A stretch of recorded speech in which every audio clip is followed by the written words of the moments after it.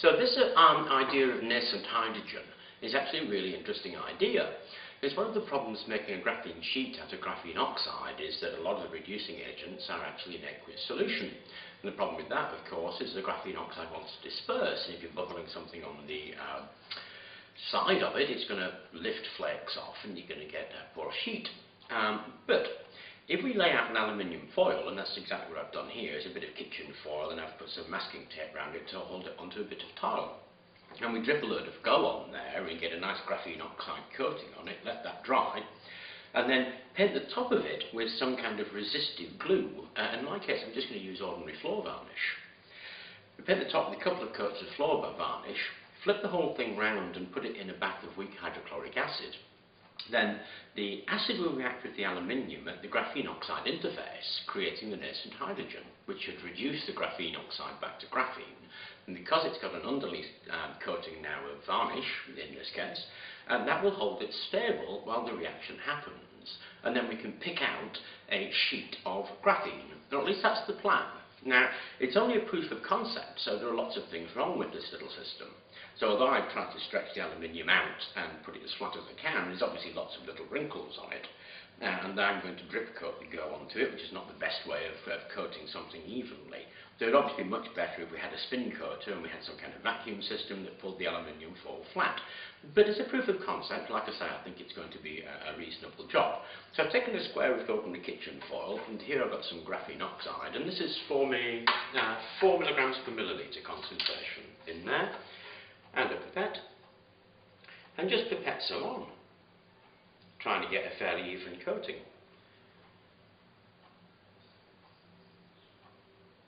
And then when you've covered that surface, and it, should stop at the boundary, incidentally, of where the uh, masking tape is, but when you've covered that surface, just put it somewhere to dry, and it'll dry, hopefully, in a nice even sheet.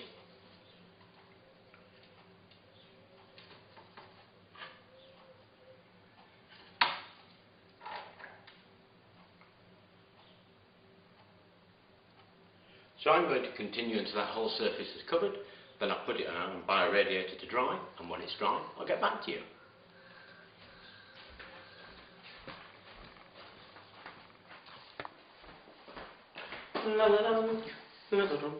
Okay, so I coated my aluminium sheet in graphene oxide, and I've put quite a thick coating on, and that's really just so you can see. Um, there are obviously the problems that we were discussing earlier. Uh, with an additional one, there are some pinholes in the graphene oxide. And there'll be pinholes on it because I didn't bother cleaning the aluminium. Uh, so if you're doing this as a final product, now, like I said, what you probably need to do is get some method to hold it down better, uh, a better dispersion method, so like spin coating or something like that. And don't forget to clean the surface of your aluminium uh, before you put it on. But I'm going to press ahead because, as I said, this really is just a proof of concept idea, and we want to see how the thing works, um, just basically. Now, having coated it in uh, graphene oxide, the next step is to coat it in some kind of uh, protective coating. Now, I'm going to use this stuff which is just varnish. It's floor varnish. You can buy varnish with lots of different formulations, and one of them is what's called a microporous uh, formulation. It allows the wood underneath to breathe, and that means it's got tiny little holes in it. That could actually be useful. So if you wanted to coat this in a microporous varnish, then once you remove the aluminium, what you'll have is a freestanding graphene microporous sheet. And that, that, I can see hundreds of uses for that, for instance in water filters, something like that. So, um, when we coat it with the varnish, you basically put one layer on, leave it for a couple of hours, put on another layer. I'm going to put three layers on, then leave it for another couple of hours and put on another layer. Then it needs at least 24 hours to dry properly. So that's what we're going to do basically, is just coat the thing in varnish, leave it for a couple of hours, and then recoat it, leave it for a couple of hours, and recoat it. now obviously I'm not coating it particularly well, you could use a roller, you could use a brush, but a bit of paper wiped over it is as good as anything else.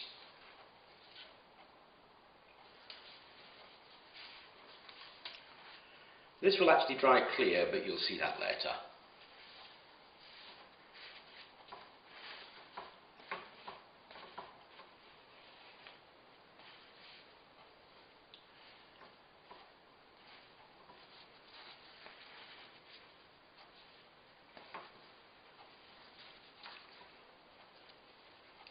And like I said, just leave that to dry for two hours. So I'm going to leave it to dry, recoat, leave it to dry, and after it's had a 24 hour period, I'll get back to you.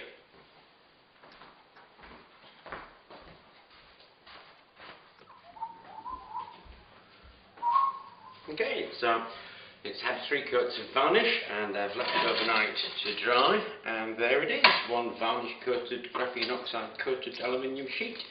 Now obviously the thing to do with it next is to separate it out um, from the sticky tape so that you can lift it off. And I'm just doing that by drawing a trimming knife blade along the edges. And that'll give me quite a large sheet of graphene oxide coated aluminium. And the plan then is to drop that into some hydrochloric acid to let the hydrochloric acid eat away at the aluminium and the nascent hydrogen reduce the graphene oxide back to graphene, in which case the graphene will be reduced with the supporting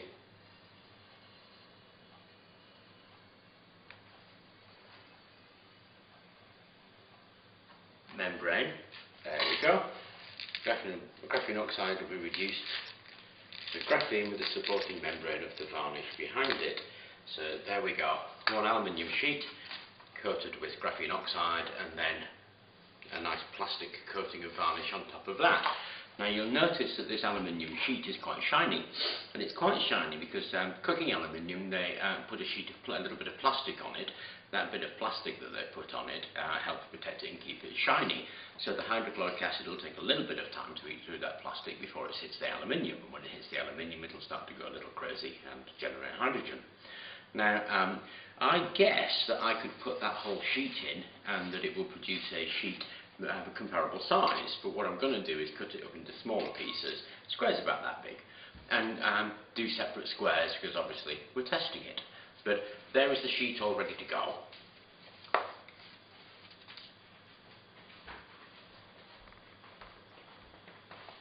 So I cut the sheet and put it into this um, bath. The bath is 15% uh, hydrochloric acid and I've placed the aluminium down working on the idea that the hydrogen will have to roll to the edges and so we'll have more uh, contact time with the graphene oxide. I don't really know which way around to do it, I'm just guessing. So um, could try it the other way and see what happens. I'm trying it this way.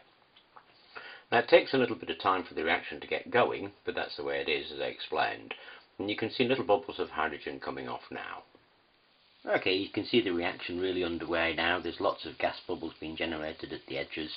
Um, it's about sort of 15 minutes into it at the moment, so it's not particularly exciting. The idea of putting it this way is that the uh, aluminium chloride dross um, bits and pieces drop off the bottom and uh, leave it nice and clean. But as I say, I'm guessing of this way around. I'll try it the other way around as well in a minute when this one's done. But you can sheet, um, see the sheet going gradually black as the aluminium is eaten away, and you can see the gas bubbles being generated, and that's hydrogen. As I say, when this one's had a go, I'll turn, uh, I'll do another one the other way up and splash some acid on the top of it, and we'll see what happens with that one. But it's quite a gentle reaction really and quite time consuming. Like I say, it's about 15 minutes in, so not particularly quick or exciting. No, not from that standpoint, I think it's pretty exciting. And as I say, you can see it actually going black as the uh, hydrogen is eat, um, eat, uh, sorry, the hydrochloric acid eats away the aluminium. Kind of cool. Okay, there you go. Not very exciting, a bit like watching a film develop actually. But the uh, reaction is pretty much finished, and it's the same on both sides obviously not quite the same and um, that brown has turned to black I'm just putting it in some distilled water to give it a little wash there and wash off any excess hydrochloric acid and any other aluminium salts. And that was trying it with the aluminium facing down. Now let's put a bit in there with the aluminium facing up and we'll see what happens. Again it takes a little while to get it going. That took about 15-20 minutes. So we'll give that 15 or 20 minutes and see what happens. And there's the reaction starting after a couple of minutes, and as you'd expect, it's a bit more even. Uh, the problem with the other one is the bubbling and popping lifted the thing out of the uh, acid and knocked bits of aluminium off, which I didn't really expect, but it did. This one obviously is uh, much more even. And here's the reaction after about 10 minutes. You can see that it's uh, getting covered nicely in bubbles, and it has a bit of a tendency to lift up. So I keep just popping it back down again with a rod just to keep it submerged there. I guess it's lifting up because the hydrogen is getting caught. Um, the um, varnish as well is hydrophobic, so that's helping it lift up. But I just keep resting it down there and letting that reaction go on. And a couple of minutes later, and as you can see, the reaction is well under progress now.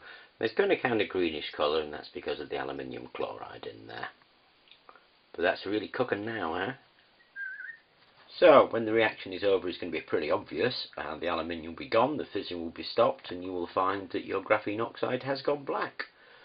So when that's happened, give it a rinse and some water to clean it off, and you're pretty much there.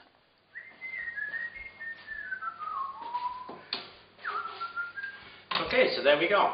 Um, I cut these to this size because that's the size of the bath that I had, but obviously you could cut them to any size you wanted and put them in any bath size that you wanted. Now the results of this is they've gone quite silvery as you can see, quite silvery grey and I guess you'd expect that. And the resistance of them is a sort of 17k kind of range, which is pretty poor um, for the thickness of the uh, graphene oxide there, but I guess it's no surprise really. Um, ways of improving this, well I can think of hundreds of ways of improving this to make it actually a viable project. Uh, one way would be to clearly give a thinner coat of graphene oxide and a thinner coat of the um, varnish because I put three coats on and as you can see from the results of this it's pretty thick actually. It's about as thick as um, a plastic bag so it's pretty thick so you could make that a hell of a lot thinner by coating it properly now obviously I just splashed everything on because it was a proof of concept and it was just an idea that I was playing with. So I made everything uneven and everything quite thick and everything quite wrinkly so you could see it and we could try it out and see what happened. None of that's actually any good, so to be honest I'm really quite surprised that we got any results at all.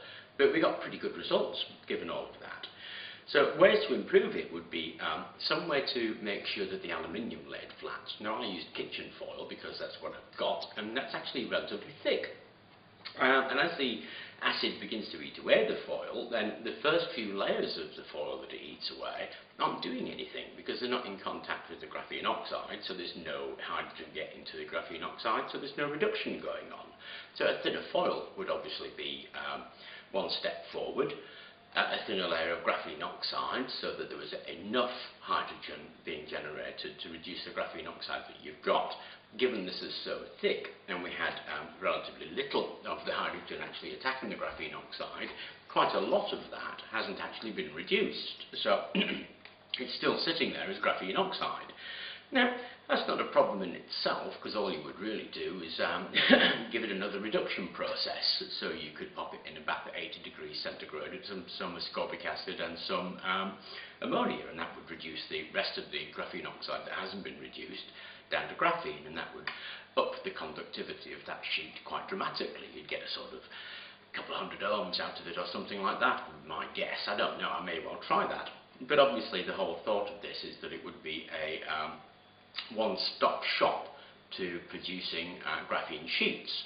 And if your graphene was actually spread on thinner so that the proportion of hydrogen being generated as the acid was eat, uh, eating away the aluminium to the amount of graphene oxide available for reduction would be greater. And so more of the graphene oxide would be reduced. Thinking about annealing, um, obviously if we annealed that for a while, and you're thinking about sort of 120 to 150 degrees for half an hour in an inert atmosphere would actually uh, anneal the graphene and cause that graphene to um, mend its defects and again the conductivity would go up. Now, um, these would all be things that you would think about if you wanted to turn this into a process. So using a thinner foil, spreading on the graphene better, you may be using rod coating or spray coating. Um, maybe playing around with the concentration of the acids in the bath so the reaction was slower and had more contact time with the actual graphene oxide. Uh, the substrate that I've used, which is, uh, was a coating on this but has ended up being uh, the substrate that's holding it all together, was just ordinary floor varnish, again just because that's what I had available. You uh, can get lots of different kinds of varnishes. You can get mesoporous varnishes, in which case you would have created a mesoporous graphene film. Um, you could maybe coat it in something like a um, plastic and a solvent, so um, some PET maybe or some polystyrene, you coat it in that, reduce it back down to graphene and then pop that into the, into the plastic solvent and what you'll get is a freestanding graphene sheet because as the solvent eats away the plastic the graphene sheet will lift off in the solvent and just float on top of the solvent. So it's a route again to um, a freestanding graphene sheet.